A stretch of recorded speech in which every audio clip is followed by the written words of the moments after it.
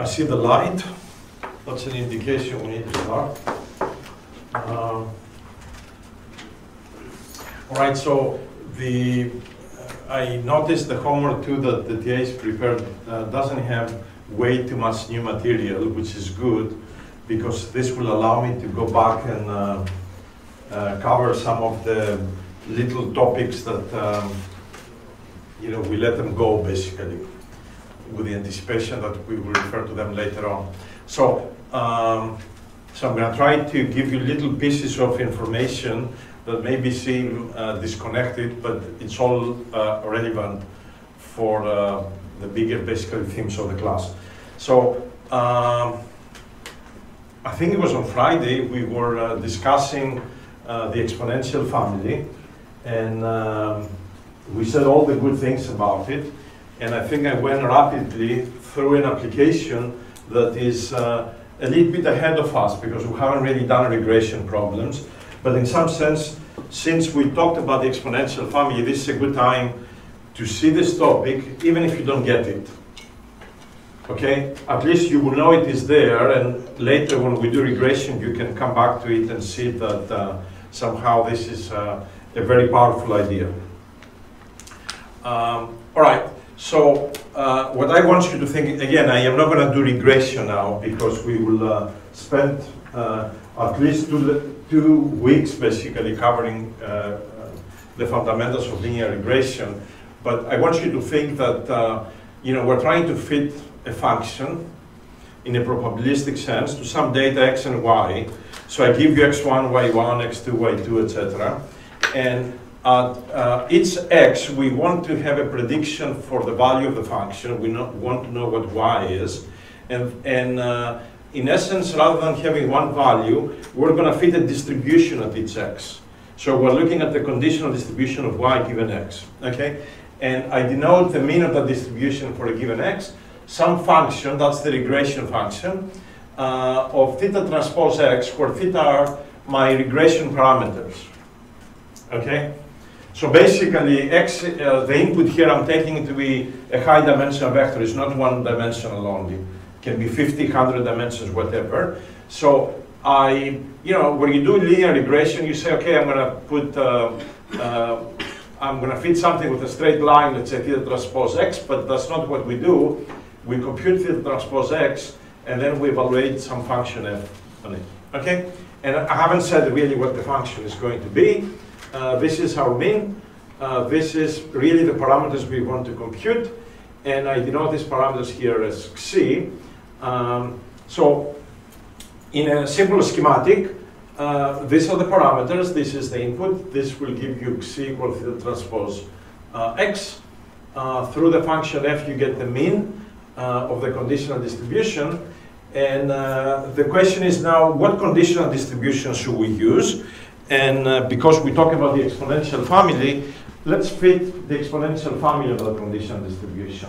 Now, for the exponential family, we know, I discussed this last Friday, there is a unique map from the moments, in this case from the mean, to the canonical parameter theta that are used in the exponential family. So this mapping is defined through this function psi. And uh, so the question is, you know, to, to to get something going on with these generalized linear models, the question is, what should we use for f, and what family uh, of from the exponential family should we use? What should f be and what should psi be, and how will the whole thing work like uh, so that we can have um, a unifying way to do uh, you know, uh, regression using these uh, linear models. All right, so here is the simple idea. This is the schematic again. I am going to make the following assumptions. I am going to take xi and eta to be the same. Sounds weird, but uh, in addition to that, because xi through f is mapped to mu, and eta through psi minus 1 is mapped to mu, I'm going to take this function, the regression function f, to actually be psi minus 1. And you remember this function psi is defined precisely from the exponential family. It's something given. Okay? So I'm going to take the regression function. this is the choice I'm going to make to be psi minus 1, and I'm going to take xi equal to eta. Okay? And uh, remember, xi is the theta transpose x. Okay? And uh, uh, so xi, uh, you know, xi is basically the inverse of f minus 1, the inverse uh, computed at mu. All right? Uh, and because xi is equal to eta, is also psi of mu. Okay, but more or less these are the two assumptions. We make xi and eta to be the same, and f is defined through the exponential family to be basically psi minus 1. Now, why doing all of this? Well, obviously because something nice is going to come out of it, right? So obviously you can do anything you want actually in regression. You can put any function you want to, literally, okay? But let's see what's going to happen when we do this. All right, this is a heavy-duty slide has uh, lots of information, but a lot of uh, very nice things are going to come out of this slide, okay? So uh, what I'm going to do is, I am going to, uh, obviously, uh, because we work with exponential family and, and uh, conjugate priors, the likelihood is going to be in the exponential family. So what you see on the first equation here is the log likelihood. Okay? And uh, uh, I calculate the log likelihood for a set of data xi, yi. So uh, for simplicity here, x is a vector, y I take it to be scalar. All right, so I fit many inputs to one output, okay? And I have n data points. So if you remember the exponential family, if you take logs, right?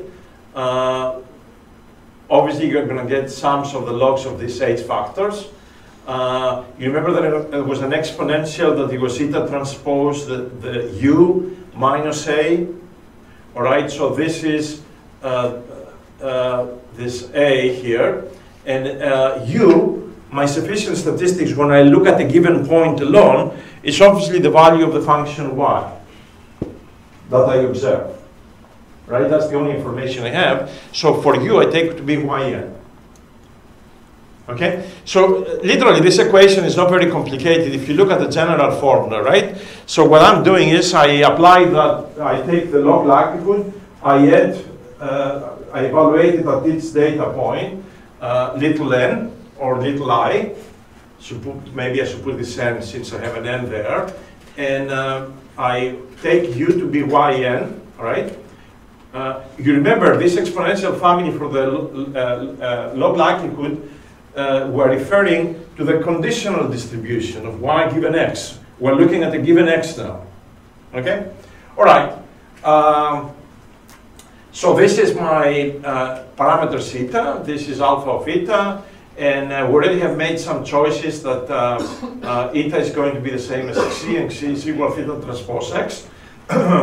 so, um, uh, so let me just go back to remind you, eta we said is the same as xi, and uh, xi is theta transpose x. All right, so basically the log likelihood looks at this very nice form. Uh, the parameters theta come only on this term, and on this, uh, on the, and there's nothing there, it's only eta here, okay? Of course, eta is a function uh, of theta, so we will see how this is going to come up in the calculations.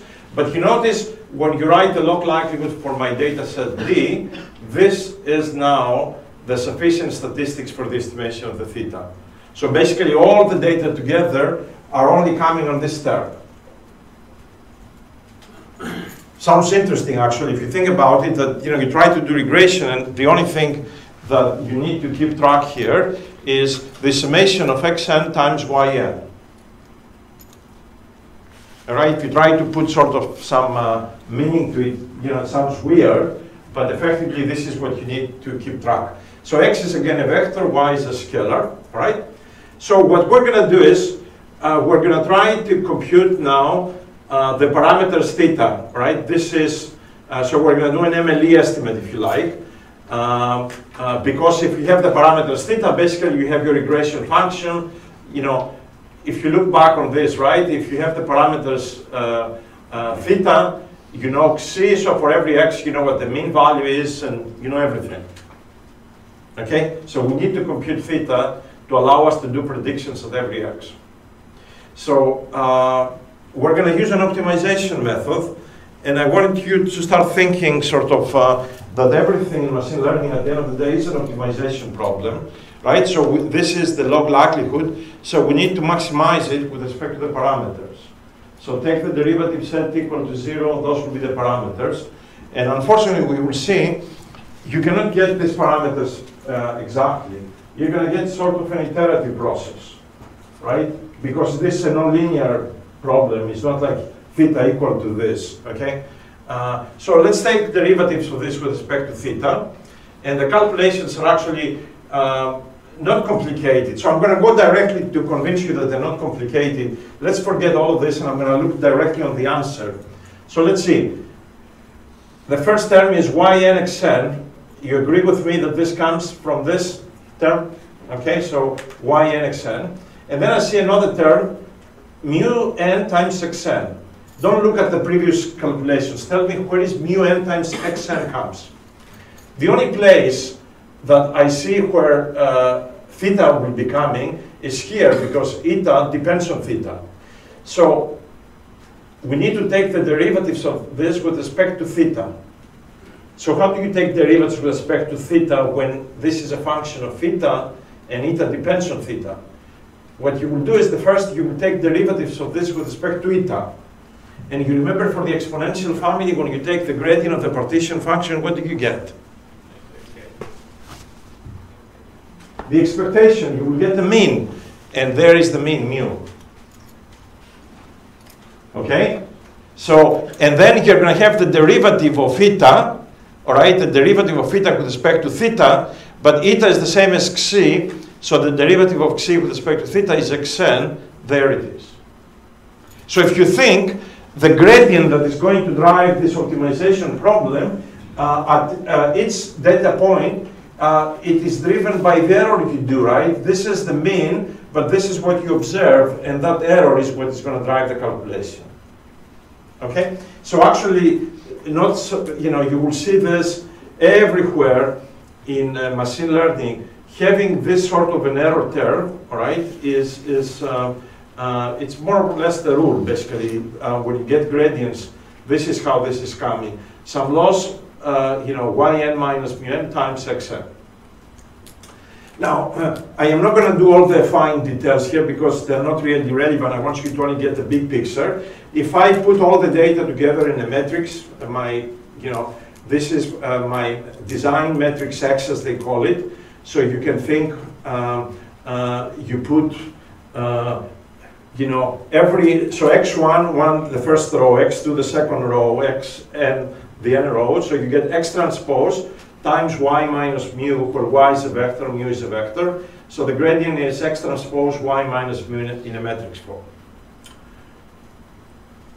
Uh, since we do want to do fancy optimization, we don't only want the gradient, we want actually the second derivatives, and this is what's called the Hessian. Okay? And uh, so we need to compute the second derivative of this. And the only place that there is some dependence is that mu term, right? So mu is a function of theta, okay? And I'm going to leave it like that, right? You can, uh, um, uh, from the exponential family, basically you can uh, compute this uh, uh, directly. So the Hessian at the end of the day looks minus x transpose w times x where W is this uh, diagonal matrix that looks like this. All right. Uh, if you have the gradient, you have the Hessian, you can do any sort of optimization problems. So if you go in your uh, Wikipedia and you say Newton's method, really this is the, the Newton guy, all right? The same guy that uh, is everywhere. So if you put Newton's method, basically you will see for updating these parameters, or doing optimization. It's an iterative process that says theta iteration t plus 1 uh, equal to theta iteration t. And then you're going to have uh, minus, minus the, the, inverse of the Hessian, all right, which is, uh, so minus minus will become uh, plus inverse, and then times uh, the uh, gradient, which is x transpose y minus mu. Okay? And uh, effectively, if you, you know, just do simple uh, uh, rearrangement of the terms, what you get is you get an update that uh, looks very similar with uh, least squares method. It, it's practically least squares. What is new is that somehow uh, the, there is this W matrix here, so it's a weighted least squares. And because the method, the right, you know, so effectively uh, you have to iterate this, this uh, uh, you know, uh, this equation to compute the parameters theta t and t convergence. It's called iterative reweighted least squares, okay? And uh, it's reweighted, not just weighted, because the weights depend on where you are.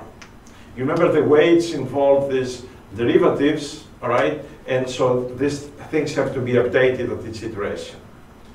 Uh, because at the end of the day, uh, eta depends on theta, right? And theta is what you're, you're trying to compute. So um, uh, this technique actually, so it's universal, right? It is universal for all uh, methods that, uh, you know, uh, that, you know, for all sort of uh, uh, parameter estimation problems that coming from the exponential family. And so you don't have to go and do this for the Gaussian, you know, it's sort of the same sort of idea. And um, uh, it comes out, and I don't want to go to technical details, that even if you don't do these uh, weird choices that we had here, this method still applies, where instead of actually using this Hessian, you use the expectation of the Hessian. So basically, if you don't do these uh, canonical assumptions, whatever extra terms you get, they disappear when you take expectations. So this is still very universal, okay? Uh, it's a little technical point. Uh, now, in practice, I can tell you there's something that uh, uh if you're going to write a computer program or you're going to use something, um, you know, uh, more sophisticated, like training a neural network, and you want to update the parameters of the neural network, etc. You know, you are doing sort of obviously some iteration like that, but actually what you're going to do is you're not going to put all the data together on this matrix X that we had here. You would like to do this sequentially, one data point at a time.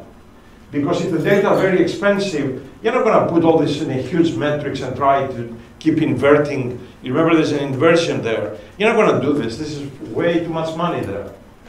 I mean, if this is a million dimensional, a million by a million, you don't want to invert. So actually, uh, the idea is very simple.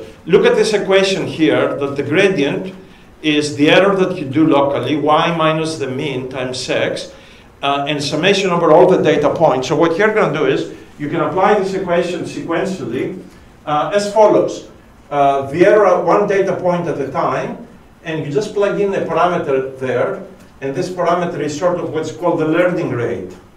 This is what people do to train neural networks. Okay? So that really, it is coming mathematically as a point wide, uh, uh, wise estimate, if you like, of this uh, iterative reweighted least squares method. So you will see this equation everywhere, not just in the context of uh, regression, you know, um, I can take a classification problem, I can do anything uh, where there are parameters and I'm going to compute them with something like this, where there will be some error times uh, uh, the input vector xn, okay, and then you iterate this one data point at a, time. There is no proof actually in most cases that this thing will work, but it always works. Okay, it's one of these uh, uh, things. Um, you remember, uh, you know, one of our uh, visitors for the CICS seminars was saying, he started with a slide, or he says, all of this is alchemy. Well, you know what? Uh, life is an alchemy. We're learning constantly and we're behaving based on what we learned, and it seems we're still around. Okay? So something must be working with common sense. So, uh, bottom line, right? Uh, I don't want you to remember uh, everything, is that somehow, if you're going to do uh, regression, uh, there is a unifying way to do this for the exponential family. Uh, and so what you do is you fit the conditional distribution with the exponential family. And um, if you do some uh, smart uh, selection of uh, the function f, okay, uh, based on uh, what we call a canonical response function. It comes out actually, the calculations lead to very nice closed forms for the gradient, for the Hessian, and then this iterative least squares algorithm comes, and uh, some pointwise version of it is uh, uh literally um, this uh, version of what's called least mean squares uh, form, basically. This is an online stochastic gradient descent, basically. Okay, that's what it is. All right. Now this slide doesn't supposed to be there, I'm sorry to say. Uh, that's why I did not post the slides today, because I was uh, switching, uh, I was cutting and pasting, so when I finish the cutting and pasting, then I will post it, okay. So I don't like this, okay. So one slide came as extra slide somewhere there. Uh, so what I'm going to do is now I'm going to bombard you with uh, what you may consider useless algebra, okay? But I remind you that in statistics is everything, it's about manipulating Gaussians, and if you think we actually have done all the manipulations of Gaussians, no, we haven't. So I need to sort of bombard you with some equations that you don't need to remember them at all. You just need to know that they're there, and you need to know how to take them and apply them to your particular problem, okay? Uh, so these ideas will be applicable on everything uh, that involves Gaussians, and, uh, uh, and even actually will be very useful if you, in your research, you use um, surrogate models based on Gaussian processes, sort of the same identical equations will be applied. So there's no way I can escape and just tell them, tell you, go and read the notes, right? We have to uh, formally at least discuss it briefly. Uh, you have to trust me that the derivations are trivial. It's just basically you need to uh, invest a few uh, minutes or hours to manipulate things. There is really nothing fancy. I mean, it's just it's plain algebra.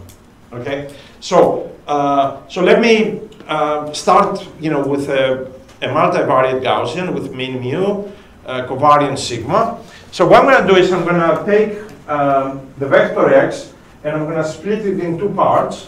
One part I'm going to call it xa and another part I'm going to call it xb. Just so I can start doing some algebra, all right? Uh, you can think multiple purposes of doing this, right? Because maybe in a Bayesian inference problem, let's say I give you xb and you want to compute xa, so then you'll be saying, can I find what's the conditional distribution of xa given xb? Or you may say, I don't really care about XB, it's a dummy variable, I want to marginalize and I want to know uh, what the marginal of XA is. All right? So, uh, so we need to be able, starting with this, all right? And also, you know, if uh, we will see the formulas when instead of the covariance we have uh, the precision matrix lambda, we need to be able to calculate these conditionals, we need to calculate the marginals and see uh, the various forms that they come in. And just to convince you that this is sort of not just algebra, I'm going to give you two examples that sort of uh, sound, if you try to do them, they sound, wow, can you actually do this? So I am going to give you two examples uh, when we finish this. So we split the vector in two parts, A and B, and obviously uh, this implies that immediately you split the mean to mu A and mu B, and the covariance matrix to something like that. We agree? Okay? And I'm not going to put explicitly what the dimensions are, but basically once you decide that this is XA, this is XB, this implies the mean is split like that, and the covariance split like that. And uh, the only thing I want to show, of course, this diagonal things, they're uh, symmetric, but also uh, don't forget that sigma AA and sigma BB themselves are symmetric matrices, because came, they came from a partition of a symmetric matrix. Okay, this is very important, okay? So, um, all right. And uh, I am going to do the same thing with the precision matrix. I remind you that precision matrix is the inverse of the covariance, so you partition it like that, okay? And again, this is symmetric, this is symmetric. Now, uh, a typical mistake somebody can uh, do here is you can say lambda AA is actually sigma AA inverse. That's not the case. All right, so let me say it again. This is the partition of the precision matrix, and somebody can go and say, this lambda A uh, is the inverse of sigma A. And it's like, no way, Jose. Okay? Because when you take the inverse of this whole thing, what you will get, you will not get sigma A, some very complicated expression. Okay? So just remember that. Uh, all right? So what I'm going to try to use, and I think we sort of uh, highlighted this in, um, uh, in passing for uh, smaller problems.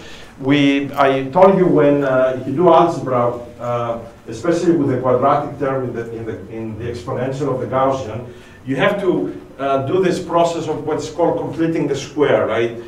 So either you have a, a square and you want to expand it, but in most often cases, uh, you have some incomplete part of the square and you want to make it to look like a Gaussian. So, uh, so if we take the exponential in the Gaussian and you expand it, okay, you will get, x transpose sigma minus 1x and then you will get twice x transpose sigma minus 1 mu plus the constant term that involves only mu. So imagine the following, when we do, let's say, long algebra, and somehow we, we come up to something like uh, on the right-hand side, and you have x transpose x, and then linear term in x, immediately you have to remember that this means a Gaussian is there. And if a Gaussian is there, you say, what's the covariance? And immediately from the quadratic term you see, the inverse covariance is what connects x transpose x, right? And what is the linear term here? It is sigma minus 1 mu. So from whatever is there, you extract sigma, and from whatever it is there, uh, given sigma, you extract mu. And this is what we call closing the square. Closing the square, why? Because you notice to go from here to there, you have to add this constant term that may be missing in your calculations. Right, but the constant term is a constant. It's going to come in the normalization. It doesn't matter.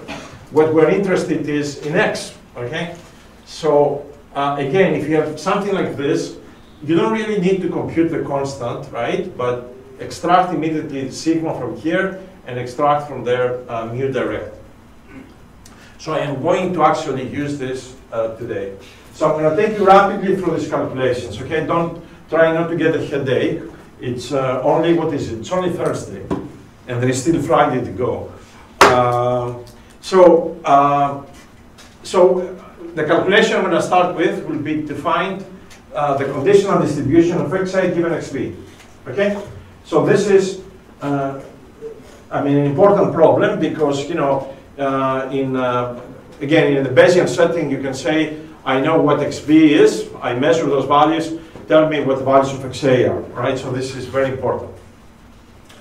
So how do we compute uh, uh, the probability of xa given xb? So let me just tell you in, uh, before the algebra, what is the idea to compute conditionals? If something is given, you go and put that value in the distribution in the joint, of xb. If xb is equal to 5, put 5. Whatever is left, that's your distribution of xa.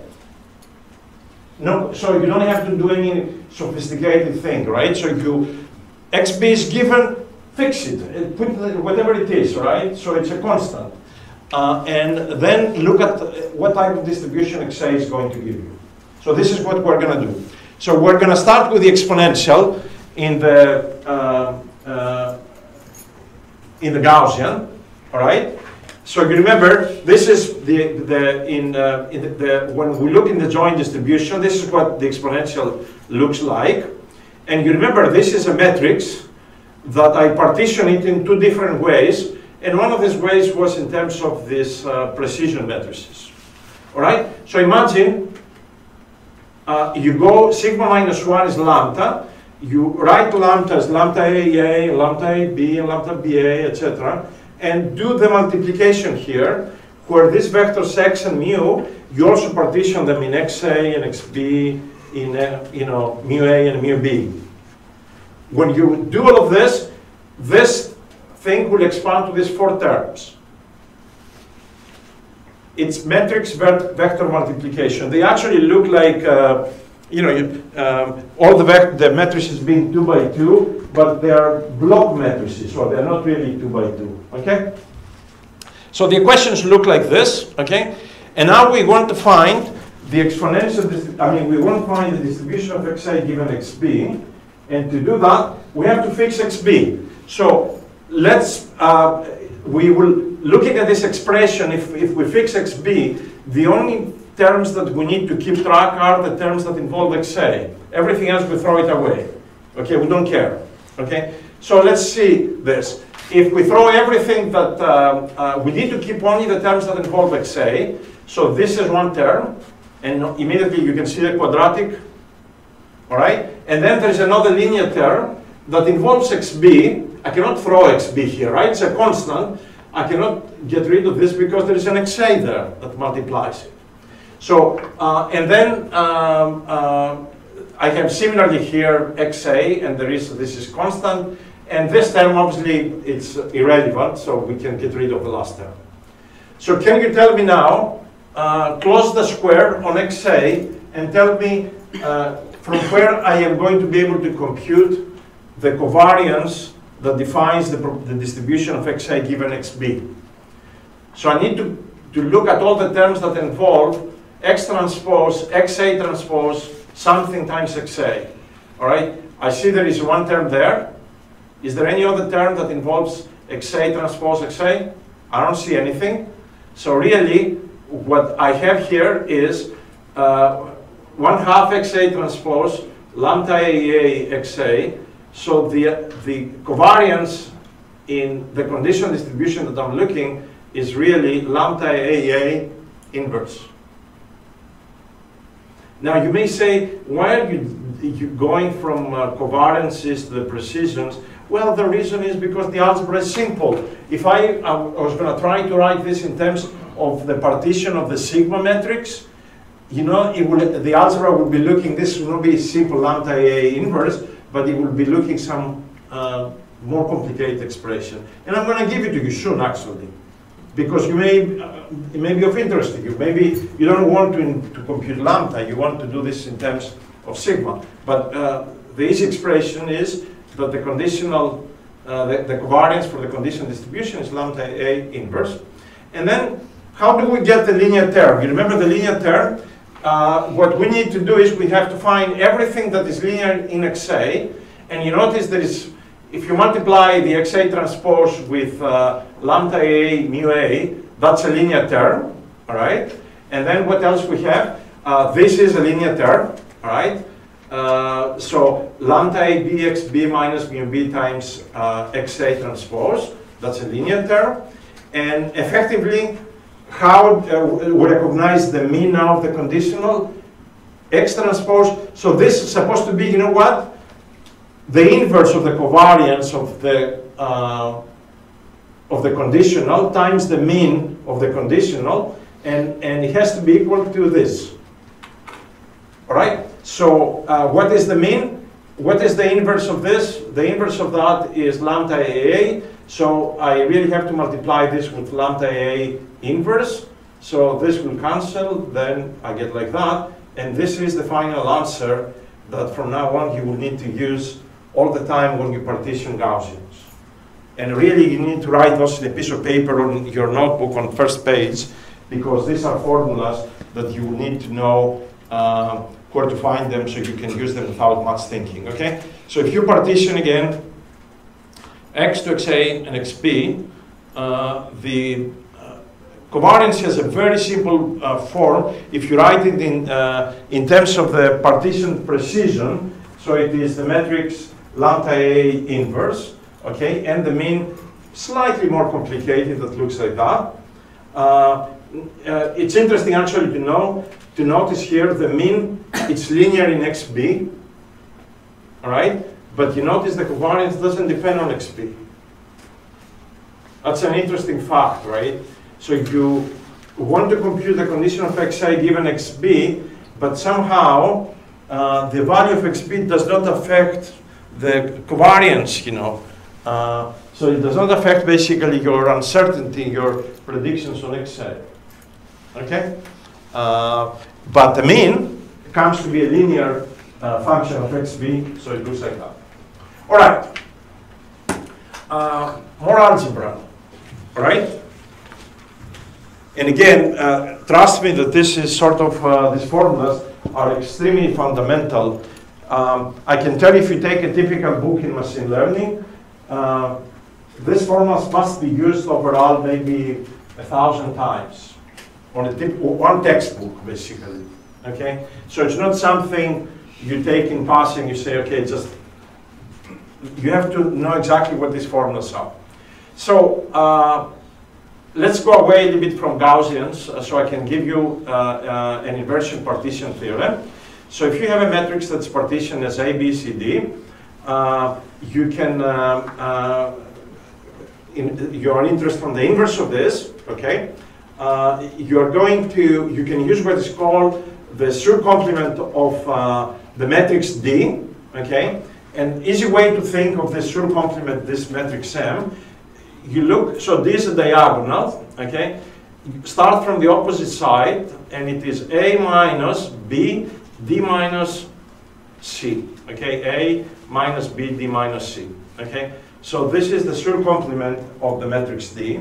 So this partition theorem says basically, to invert this matrix uh, A, B, C, D, that's partition like that, uh, this is how the inverse matrix looks like. Now, you may say, why do I care about these inverse matrices?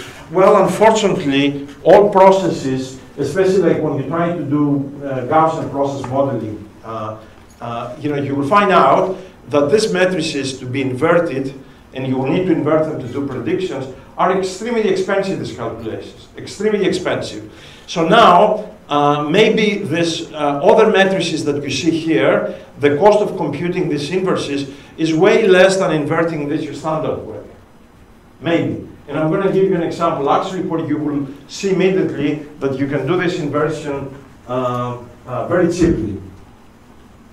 Unfortunately, you cannot do this all the time, right? But if you can, and you don't do it, uh, basically you're in trouble. All right, so so this is this uh, inversion formula, and uh, uh, the proof is actually I'm not going to go through it. Okay, it it's basically two operations. one, you make this, you multiply by this, you make it a lower um, block triangle. Uh, then you multiply uh, on the right with this matrix, you make it a, a block diagonal, you put the whole, the whole thing together, and this is what you get in one page. Okay? Uh, nothing really very fancy. You can do this, um, um, you know, you can do this uh, inversion formula where you use now the Schur complement of matrix A, and in the same definition as before, you look on the other side, it will be D minus C, A minus 1B. So basically the same formula is applied, okay? Um, it's a permutation, if you like, of the symbols that we used uh, uh, before. Now, uh, so if you uh, use the Schur complement, the first derivation, this inverse looks like this. If you use the Schur complement for the matrix A, uh, it looks like this. Obviously, the two results have to be the same, and immediately you uh, come up with a very famous uh, formula that this blue term has to be equal to this blue term, and this gives you this equation which goes in the literature as the Woodbury formula. Okay, and uh, very, very fundamental basically on uh, everything with Gaussians.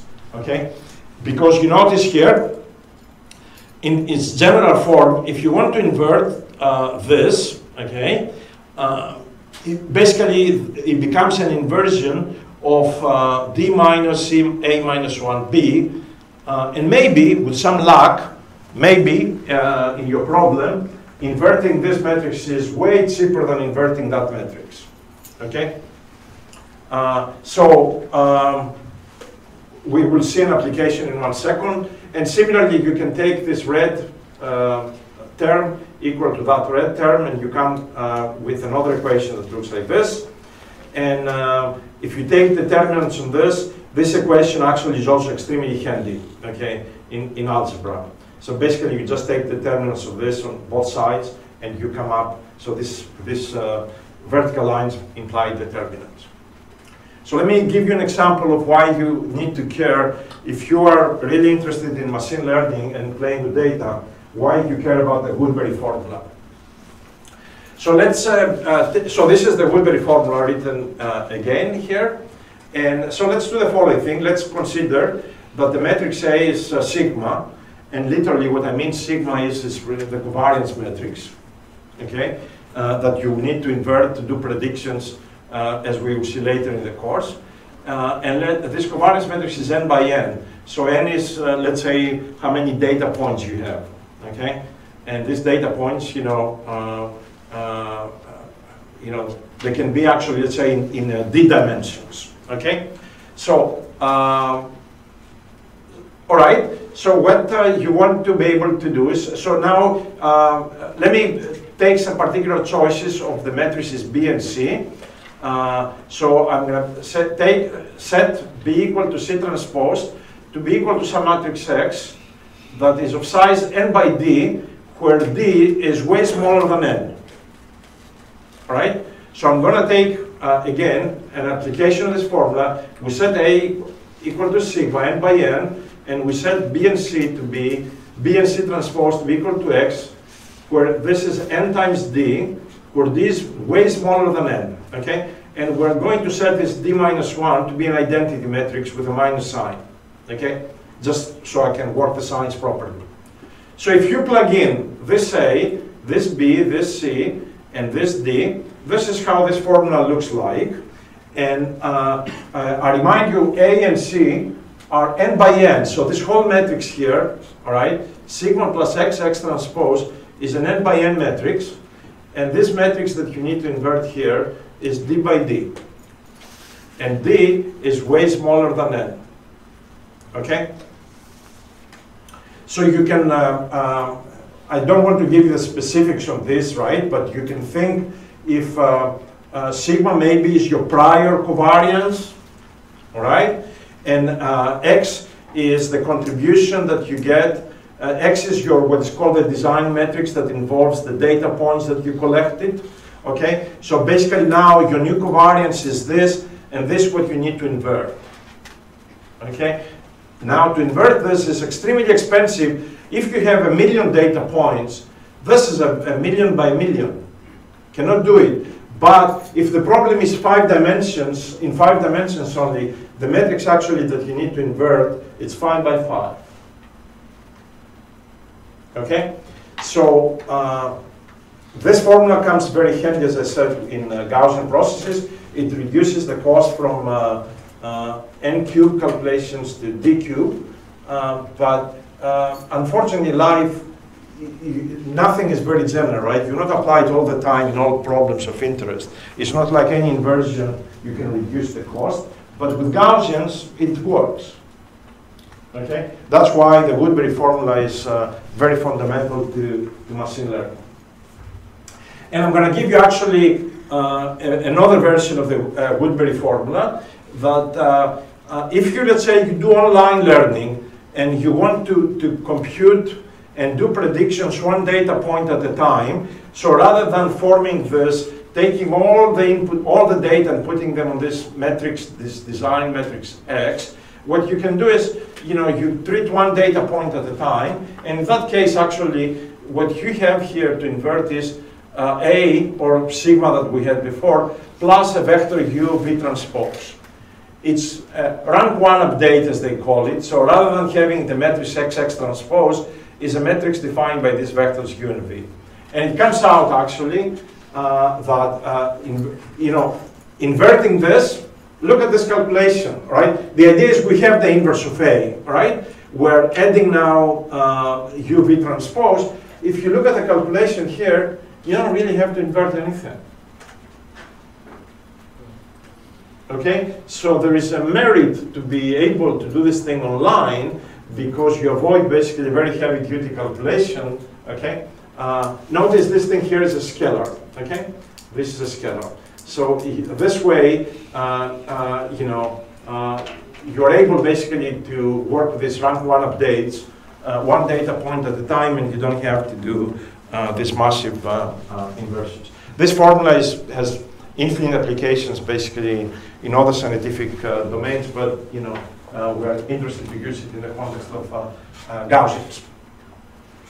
All right. Um, uh, so if you remember, I, I gave you before uh, the conditional distribution, and I express everything in terms of lambda.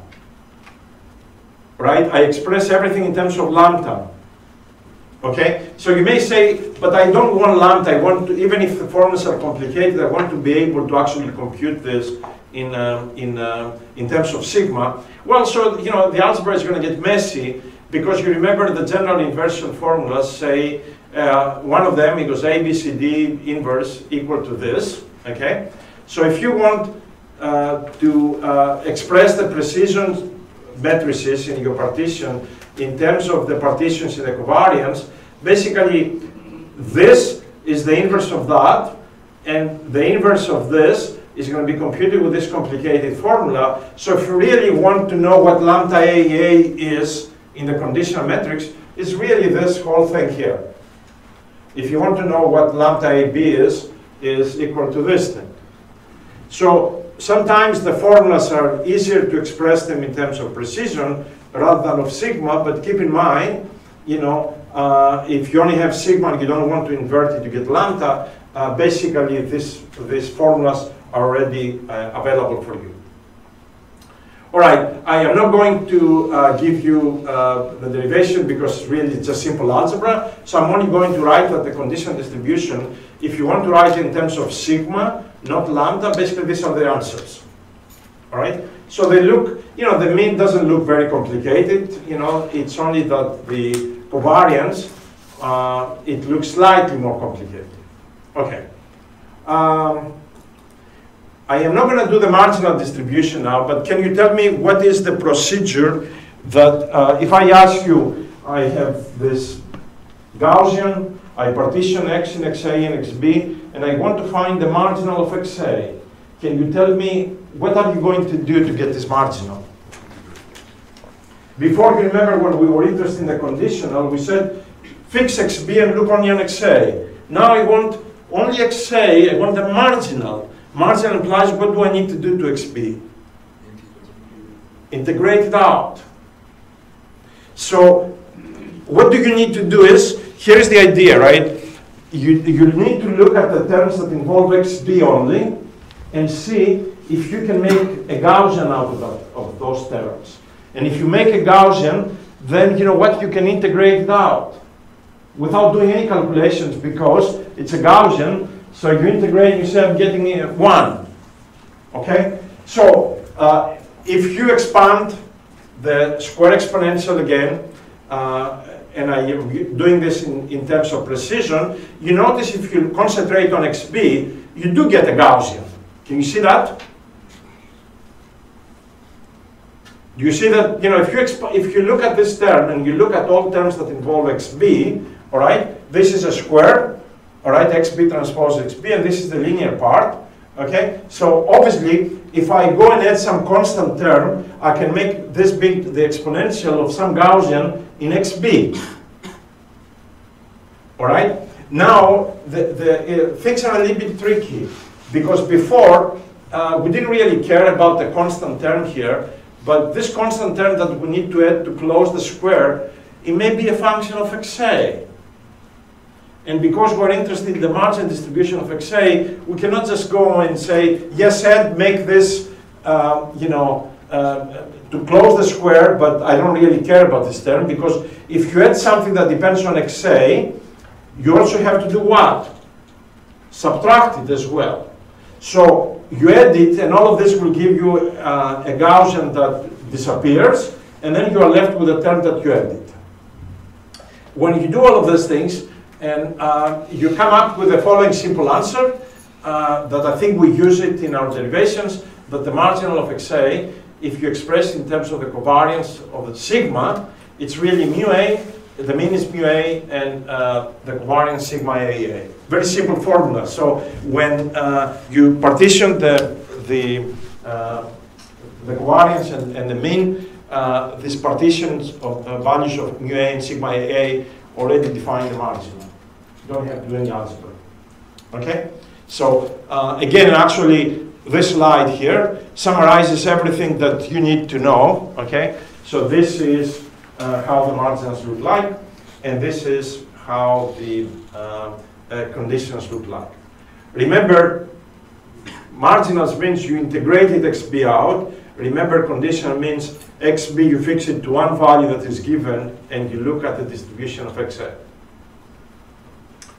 All right, if you try to do this uh, in, uh, uh, in a simple uh, uh, bivariate Gaussian, and I use the correlation coefficient here, I think we have seen this formula, so the marginal basically of x1 will have mean mu1 and covariance sigma, variance sigma 1 square. And if you use the general formulas, and actually this would be a good exercise, right? The general formulas involve matrices, but if you try to use this for scalars here, you come up that the uh, condition of x1 given x2 is given like this, okay? And, uh, and I think uh, I had shown to you these plots before on uh, how these conditions and marginals look for Gaussians. All right, so let me, I'm gonna do two applications uh, uh, and maybe not the correct way, right? But hopefully we can make some connections with these formulas of, uh, of uh, the partitioning the Gaussian and computing conditions and the likes. So, uh, so let's uh, try to interpolate, to interpolate uh, what I call noise-free data. So let's, this is a 1D interpolation. So you give me, uh, so the input is uh, the horizontal axis, let's say, is the t values, and the vertical axis are the y values. So you basically want me to interpolate, right, and, and you give me, for some inputs ti, you give me what the output is, and that's the exact output, there's no noise, and you, you give me this information for endpoints, and you tell me interpolate in between, right? I mean, this is obviously a mathematical problem, uh, but the way the word interpolation in a Bayesian setting is prohibited, it's bad for you. You don't interpolate ever. Okay? And you will see this when we talk about Bayesian things. You don't interpolate.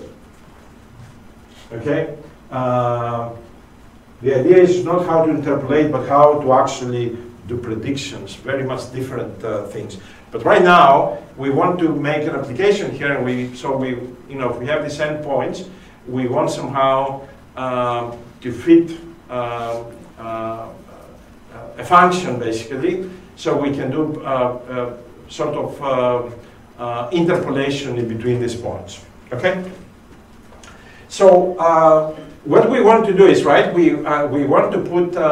Uh, so we, we want to compute this function f, and, and we're going to be slightly probabilistic. So what we want to do is we want um, uh, rather than fitting one function, to put the distribution of the functions.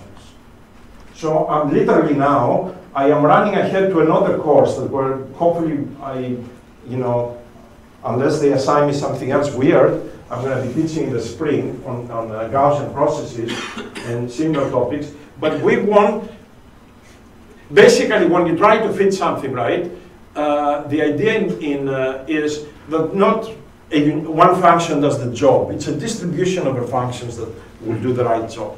So what we want to do is, we want to put a prior over this function f. And I'm going to do this in a sort of trivial way that uh, without much sort of uh, depth, okay? So let's see what I mean, uh, uh you know, so we, so, you know, think uh, a one line where, you know, at some points you give me at uh, d points, you give me what the values of the response is. So, um, uh, so what I'm going to do is I am going to, so I don't know why I changed the notation here. I went from y, okay, maybe this needs to be corrected, okay? So x is my, the, my function response, okay?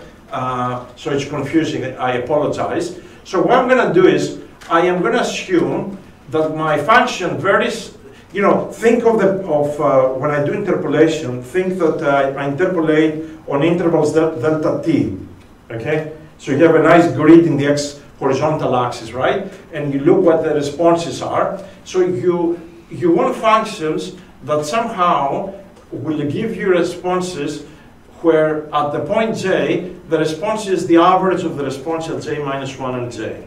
And this is what I call a smooth prior. We want basically a response that it will not suddenly take us from one value to something extremely different, okay? So we want basically the response at point j to be an average of the responses at j minus 1 and j plus 1, plus some noise.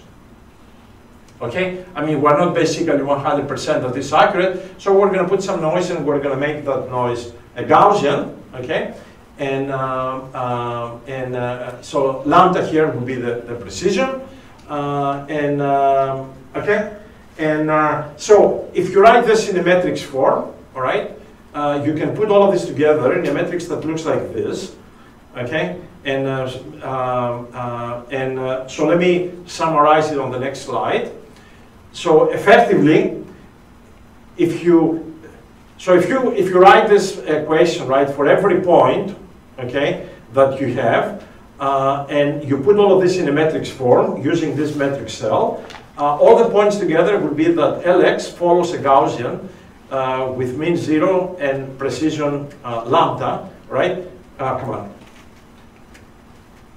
You notice from here, if I put all of this together, uh, what I'm going to get is L times the vector x of all my responses, and this is my, my noise epsilon, okay?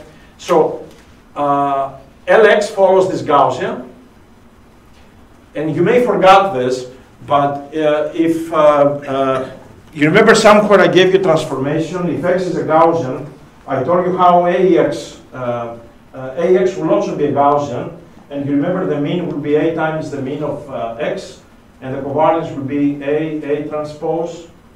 So now here we have to do the reverse. I give you Lx to be a Gaussian, and I want the probability of x, so it's actually going to look like this.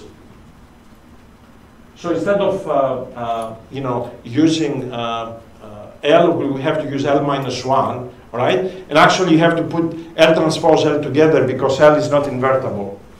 Okay? So what you see here is, and again, even if the previous discussion with uh, this smooth interpolation and the assumption doesn't make any sense, this prior that you see like this, it's called the smooth prior. So if basically you want to compute the, a function where uh, the responses from point to point don't vary very much, all right, this is a smooth function where this matrix L uh, looks like uh, you know, you may remember from your high school or uh, calculus courses, this looks like a discretization of second derivatives. You remember when you take a second derivatives and you discretize with finite difference on a grid? Okay, all right. Uh, so effectively, uh, this is sort of penalizes uh, big variations based on, on uh, on uh, those derivatives, okay? Sort of, it's equivalent, if you like, to regularization. So, okay, so this, you know, the response, we put it to be a smooth prior like that. Now, uh, the problem, uh, let's go back to the original problem, right? When I wrote this, I involved all the points uh, on the grid, but I'm only giving you the function values at some points, and I want you to interpolate at the other points. So immediately, can you see? If my prior here is a Gaussian, right, this is really a Gaussian, uh, effectively what I need to do is I want to partition X on what I don't know and what I know. Can you see that? Before we had XA and XB, now literally make XB the value functions that I gave you, and then you have to compute what is XA, okay? And effectively what we need to do is uh, take this, um, uh, uh, take this uh, covariance that you have there, do the partition exactly as we did in the, you know, in, uh, uh in the general formulas, and, uh, and uh, so this is how the partition will look like, and then use the results that we had for the probability of xa given xb, and you say here is the mean, and here is the covariance, you write down the formulas, and you're done. And you can see that the covariance doesn't depend on uh, the values of x2 that you're given. The mean depends uh, on x2. And I only want to show you how the results look like. This is sort of uh, a way to think on how we're go actually going to do some simple Gaussian uh, process modeling later in the course, okay? So uh, this is my x-axis or s-axis, whatever I call it. Uh, this, I give you the values of the, of the function at these points. Um, and um, so what do you think this uh, uh, highlighted uh, region is? Don't pay attention to the little uh, wiggly lines, but do you think, what do you think these uh, regions are?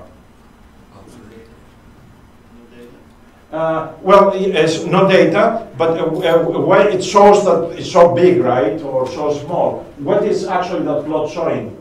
Because at the end of the day, the, the conditional distribution is a Gaussian, right, that we computed, all right? So what does it show me?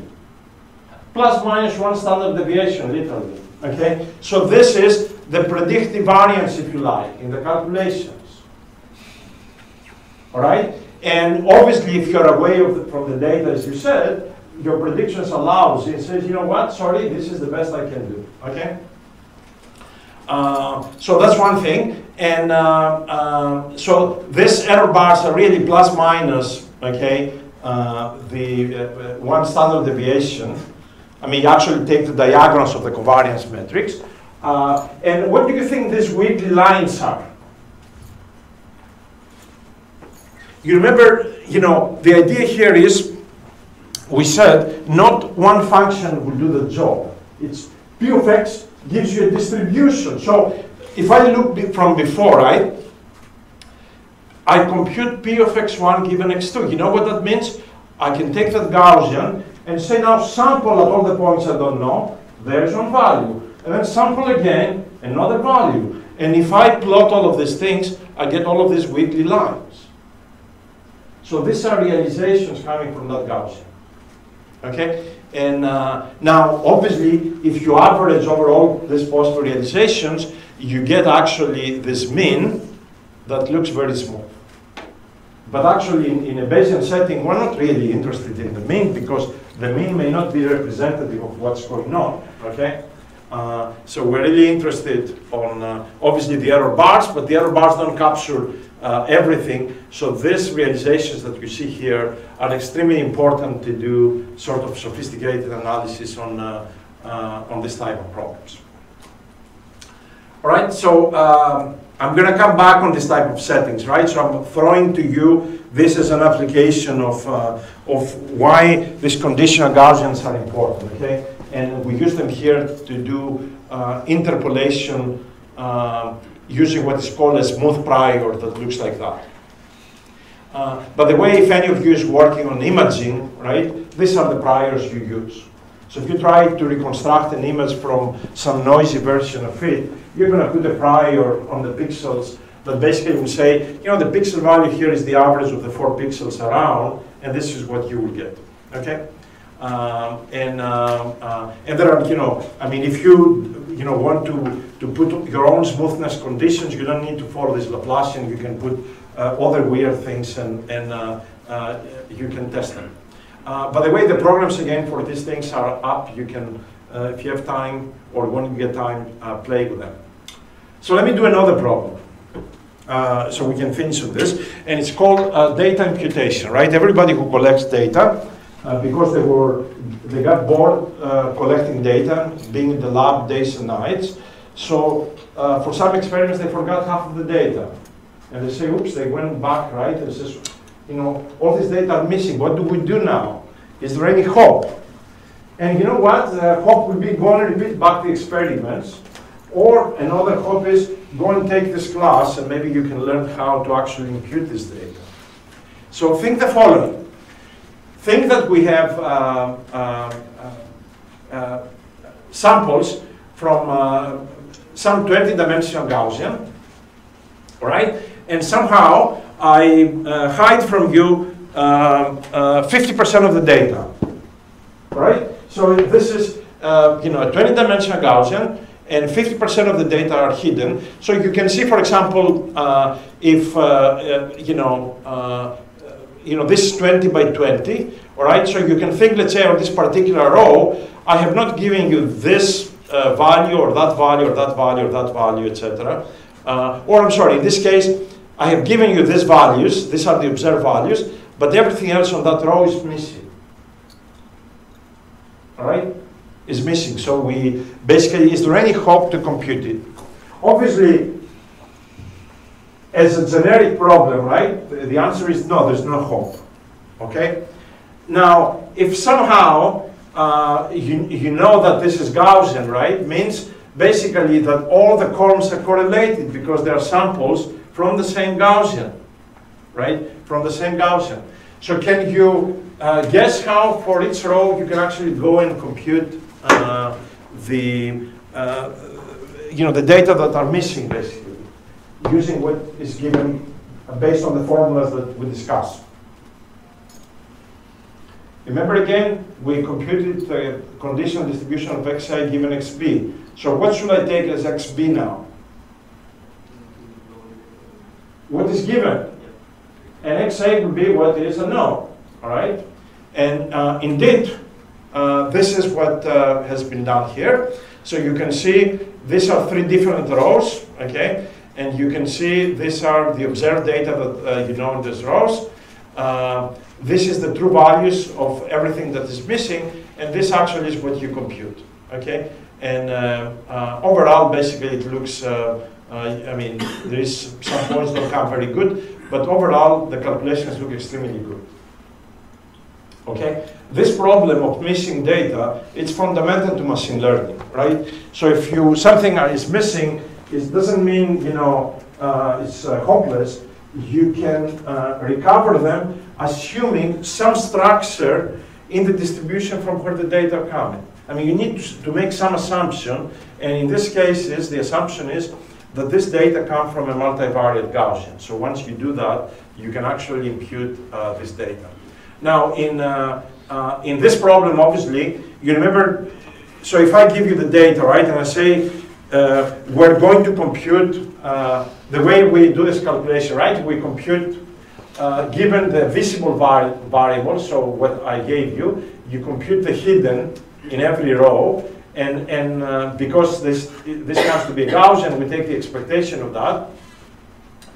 But uh, here we assume that the parameters of this multivariate Gaussian are known. All right?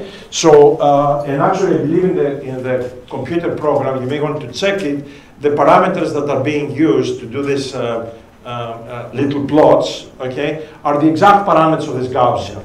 So in a real problem, you're not going to know what those parameters are. So this problem, uh, it will be, before you do data imputation, you're going to have to calculate the distribution from where the data is coming. And you're going to have to use whatever is given to you, not what you would like to have.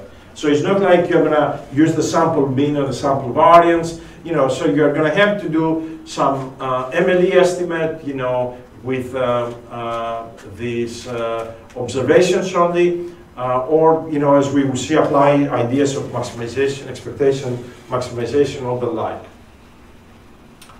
Um, actually, I have, uh, so we can actually finish this.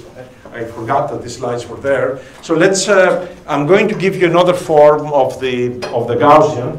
Um, uh, so we can, um, uh, you know, done with sort of uh, this different versions of presenting a Gaussian.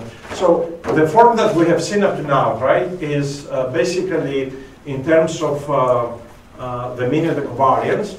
But we, you remember in the exponential, uh, exponential family, we don't play with moments, we play with uh, the canonical variables. All right? So I want to explicitly give you so you can at least know that they're there, that this is one representation of the Gaussian. Another representation, the canonical, involves uh, the variables lambda and xi. Lambda is the precision, the way we know it, and xi is sigma minus 1 mu, the mean. Okay? So, uh, so uh, this is called the canonical form or the information form of the Gaussian. Rather than parameterizing in terms of mu and sigma, you parameterize it in terms of lambda and xi. And actually, you know, the transformations are straightforward. And the canonical representation looks more complicated, okay? Uh, so there is uh, uh, xi transpose lambda minus 1 xi and a linear term xi and X transpose lambda C, uh, lambda X. And you may say, and who cares? Well, sometimes, you know what, uh, you may want to guess that uh, the same thing when, rather than using the covariance, we use the precision matrix. Sometimes, when you do algebra, uh, in terms of this canonical representation, the results look way uh, uh, simpler than if you use the moment representation. And you know a typical result of that is when you multiply two Gaussians. If you multiply two Gaussians, what do you get at the end?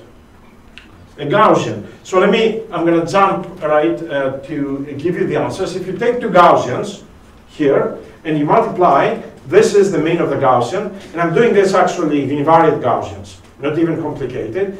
Uh, this uh, mean is this, and the covariance is like that. Now, if you multiply, if you do this in this information form, uh, and you multiply two uh, Gaussians in the information form with uh, precisions lambda and this natural parameters xc1 xc2, then uh, the multiplication gives you xc1 plus xc2, lambda 1, lambda 2.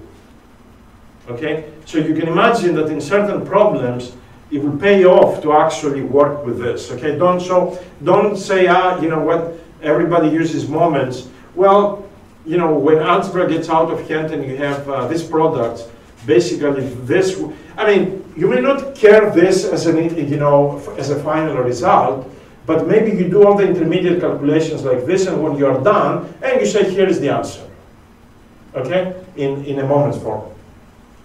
So um, I, I basically, uh, uh, I revisited some of the results I, uh, that we saw before. So, uh, you know, we had these uh, marginals. Uh, so I give you the marginal in information form, if you like. And I believe I gave you also the conditional, or maybe I drop it out, and the conditional also in information form.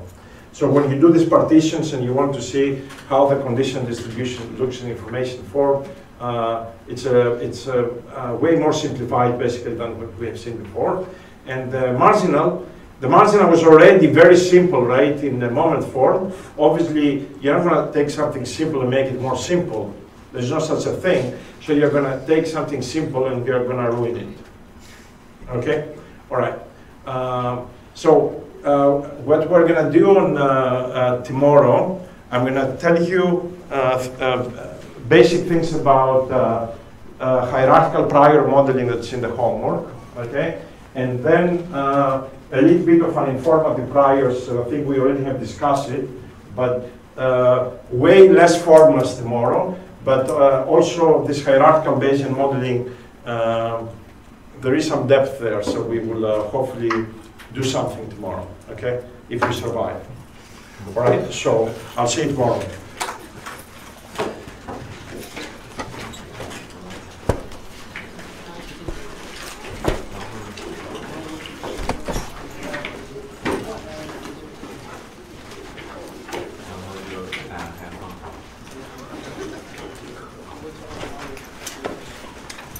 Everything okay?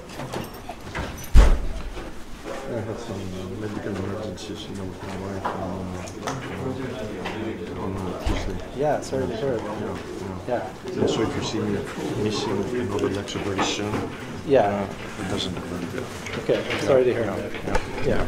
Yeah. Yeah. Uh, yeah. Yeah. You know that the, we have the taking us out. You know that? Oh. sorry. Yeah, the spies are everywhere. That's how I felt. Yeah. That's how I felt when I was in China. That's what, yeah. Yeah.